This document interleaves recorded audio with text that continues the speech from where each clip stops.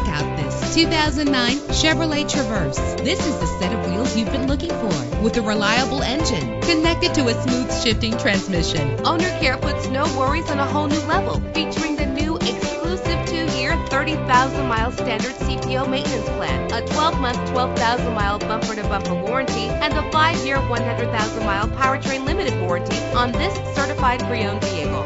Anti-lock brakes help you bring